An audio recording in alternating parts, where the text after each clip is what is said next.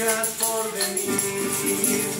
Psicoterapia con mucho amor para que muy pronto Estuvimos visitando el programa Musicoterapia que ha impactado más de 3.500 personas, niños, niñas y a sus acompañantes o acudientes.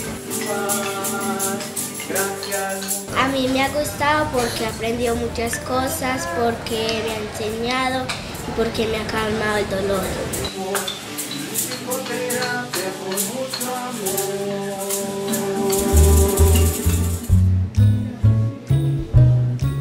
En el marco de nuestra campaña Llegarán tan lejos como tus palabras se lo digan, hoy estamos en el Hospital Infantil lanzando un mural diseñado y creado por nuestra muralista Lina Diosa, que hizo un trabajo hermoso y que va a impactar miles de niños y padres y madres de familia que visitan este hospital.